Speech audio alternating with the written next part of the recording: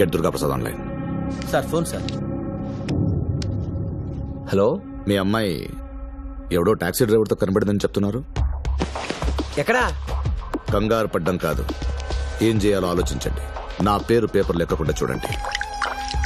ఆ taxi driver నుంచి నా కోడల్ని తీసుకొచ్చి చూపించండి. అప్పుడు మీ కూతురు ఎవరితోనో లేచిపోయిందన్న విషయం మర్చిపోతాను.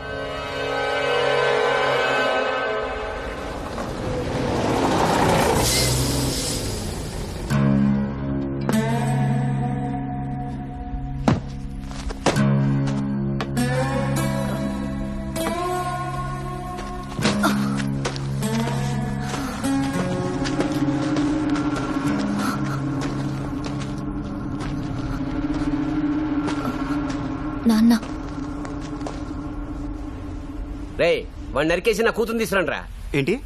నిన్ను నరికి నా కూతురు తీసుకురమ్మంటున్నాను. దీన్ని తీసుకెళ్ళడానికి నన్ను నరకటం ఎందుకు దీన్నే మామూలుగా తీసుకెళ్ళచ్చు కదా?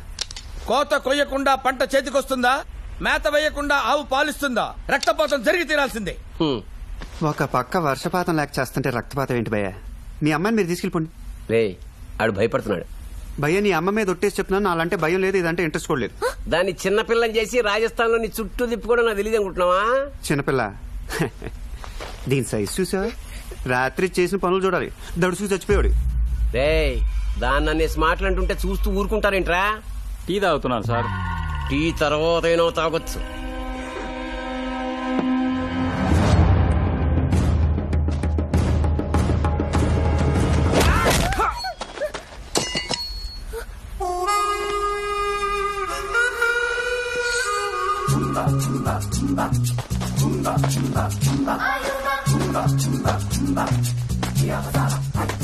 అదేంట్రా? ఒక్క దెబ్బకి వెళ్ళిపోతున్నావు. ఇప్పుడు గట్టి కొడుతున్నాడు సార్. అయితే? మొన్న పన్ను నొప్పిగా ఉందని పళ్ళు డాక్టర్ దగ్గరికి వెళ్ళాను సార్. జ్ఞానంతం వచ్చింది పీకడానికి వారం రోజులు పట్టుద్దన్నాడు వాడు ఒక్కటి కొట్టాడు సార్. రే! అంటే ఆడికి దాంతో పోయి జ్ఞానం వచ్చింది. మొత్తం లేకుండా పని తీస్తాను కదా. జర్రమంటది. ఇంటికెళ్ళి టూ త్రీ డేస్ రెస్ట్ తీసుకుంటే సెట్ అయిపోద్ది. మీరేం తగ్గకండి సార్. బోల్డ్ అంత ఇన్వెస్ట్ చేసి పది మందిని పెట్టాను. పది మందికి పళ్ళు కొట్టమని చెప్పండి. మరి ఒక్కని కొడితే ఊరుకుంటాం అనుకుంటున్నావా? మా దగ్గర ఇంకా పది మంది ఉన్నారు.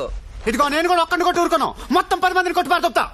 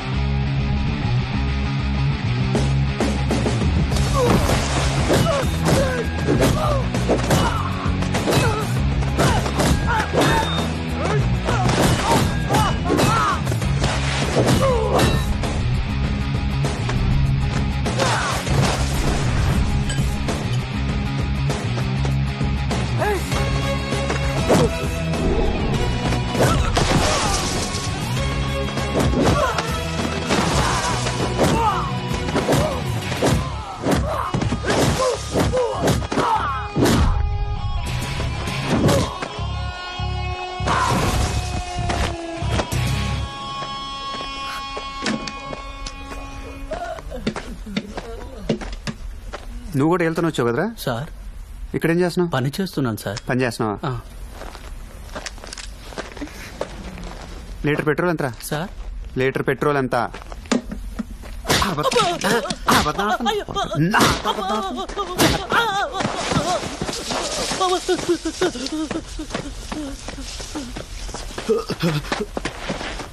సార్ సార్ వద్దు సార్ మా అబ్బాయి ముందు కొట్టకండి సార్. ఈ తెచ్చారా? మా ఆవిడ ఒంట్లో బాగాలేదు చూసుకోవడం కష్టంగా ఉందని. కొడుకుని పెట్టుకుని ఏం పనులురా కాన్వెంట్ ఫీజు కొంచెం టైట్గా ఉందండి. ఎంత ఇస్తాడు మూడు వేలు సార్. మూడు వేల? అంటే నాలుగు వేలు. ఓ వెయ్యి రూపాయలు వాడు తీసుకుని మూడు వేలు ఇచ్చాడు సార్. పిల్లాడి ఫీజు దొబ్బేస్తారా? సార్ సార్ సార్ అసలు ఐదు వేలు సార్. మీరు గారు వెయ్యి రూపాయలు తప్పేసి నాకు నాలుగు వేలే ఇచ్చాడు సార్.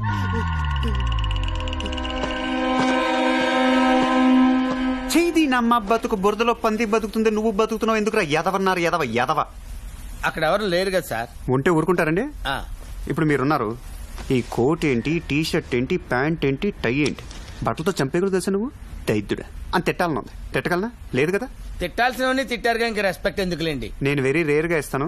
ఇచ్చినప్పుడు పుచ్చేసుకో. ఏంటి? రెస్పెక్ట్ ఇప్పుడు రెస్పెక్ట్ ఒకటైనా దానికి అదనంగా ఇంకేమైనా ఇస్తారండి? మీ అమ్మాయిని మీరు పట్టుకెళ్ళిపోవాలి. రాజు ఏం మాట్లాడుతున్నావు? నేను కరెక్ట్ గానే మాట్లాడుతున్నాను. నీతో తిరిగిందో నీ బాబు వెనక పొడుచు పాడుతాడు డబ్బు ఇంకా పచ్చిగానే ఉంది. ఇంత రొమాన్స్ కోసం ఇంత వైలెన్స్ తట్టుకోలేని. నీ బాబుతో వెళ్ళిపో. వెళ్ళిపో. కార్లో కూర్చొని చావు. ఆ? కార్లో కూర్చోమ్మా దీనికి బాడీ గార్డోడు ఆ చూపేంట్రా. ఇంకోసారి ఆ టై వేసి కనపడ్డా ఉంటే టైతో ఉరేసేస్తాను నా కొడుకు.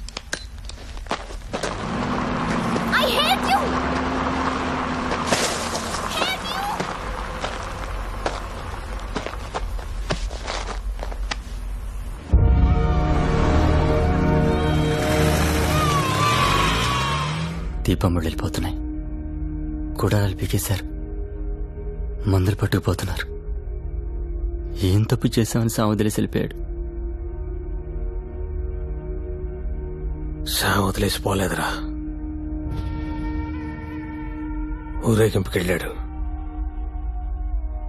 మన గురించి ఆలోచిస్తున్నాడు. మన పనే చేస్తాడు. మళ్ళొస్తాడు ఎరా వచ్చావా?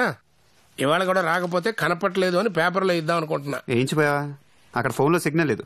ఉత్తరం రాయొచ్చుగా? ఏ పెన్లో ఇంక్ లేదా? సెన్స్ ఆఫ్ హ్యూమర్ తక్కువ లేదు. ఏంటో? ఏం లేదు తాత.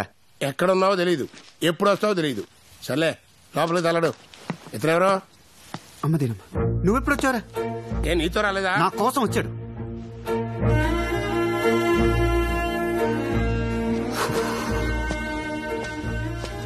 ఇప్పుడు ఏంట్రా నా మీద ముసుకేసి మూట కట్టుకుని పట్టుకెళ్ళిపోతారా? అసలు నేనేం చేయగలను అనుకుంటున్నారు? నాకు తెలిసిందే మూడు విషయాలు. ఒకటి ట్యాక్సీ తోడటం రెండు తేడా వస్తే అవతల ఒకటి ఒకటి పీకటం. మూడోదేంటో తెలుసా? అవతలకి బలం ఎక్కువ ఉందనుకో ఆడితో పీకించుకోవటం. అసలు నాలో ఏం చూసాను దేవుడు అనుకుంటున్నారు? హా?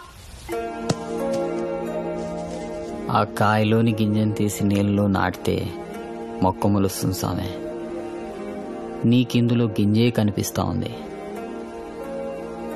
నాకు చెట్టు కనపడతా ఉంది సామె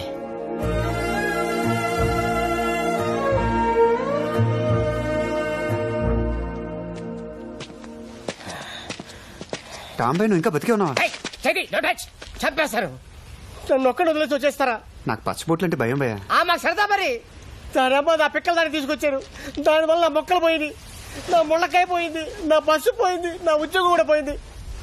చెప్పుకోలేని ప్రదేశంలో పది పచ్చబొట్లు పొడిపించుకున్నాను. వారం రోజుల క్రితం బయలుదేరితే ఇవాళ చేరుకున్నాను.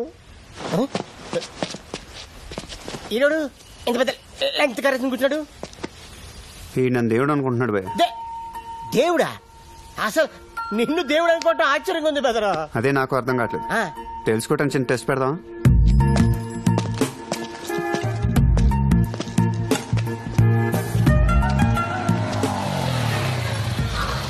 ఒక పది రూపాయలు కావాలి. ఏంటే? పది రూపాయలు కావాలి ఇస్తారా? పొద్దునే మొదలెట్టేశారా జీన్స్ ప్యాంట్ కోటేసి అడుక్కోవడం కొత్త వేసినా ఏంటి? పది రూపాయలు అంట పది రూపాయలు. ఏదో పెద్ద బాయ్ కొనాలి అడుగుతున్నాడు.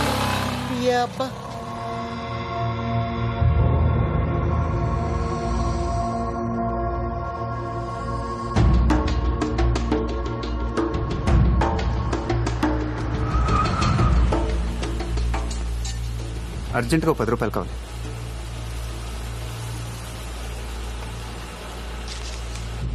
చేంజ్ లేదు.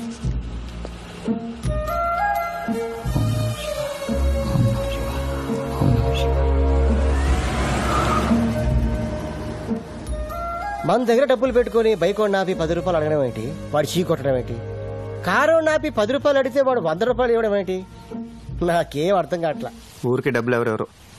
దొబ్బమంటారు రెండోసారి అడిగానే నా కోసం అడగల. లోపల అనుకున్నా. ఆడు నాకు పదిస్తే ఇడికి పాల్గొనిస్తానని వంద ఇచ్చాడు. దేవుడు డెఫినేషన్ అర్థమైపోయింది భయ్య. ఆడెక్కడ పైన ఉండడు. నీలోను నాలోను ఇక్కడే ఉంటాడు. అవతలోడు సాయం కోసం అడిగినప్పుడు టాపన్ లోపల నుంచి బయటకు వస్తాడు. అప్పుడు వందేంటి లక్షల కోట్లు కూడా ఇస్తారు. ఏది అనుకుంటే అది అయిపోద్ది. రే నీకు మీ ఊరికి నాకు ఎటువంటి సంబంధం లేదు. నేను మీకు సాయం చేస్తాను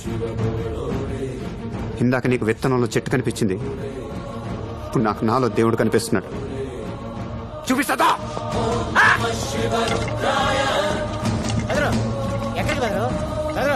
నిన్నే బెదరు? ఏదో ఒకటి చెప్పు. ఎక్కడికి బెదరు?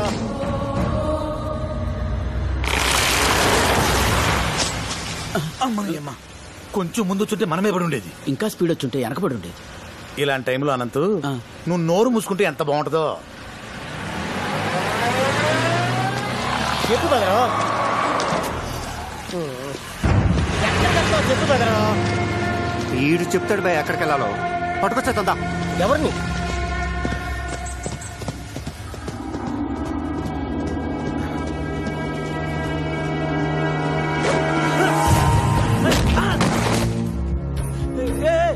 ఎవరండి మీరు?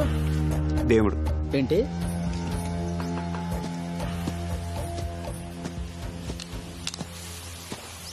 వినపడక అడుగుతున్నా అర్థం కాక అడుగుతున్నా తెలియక అడుగుతున్నాను కొన్ని విషయాలు తెలియపోవటం మంచిది. ఇప్పుడు నేనేం చేయాలి? ఒంటరిగా పుట్టావు. ఒంటరిగా పోతావు. ఏం ఒంటరిగా జాగింగ్ చేసుకోలేవా?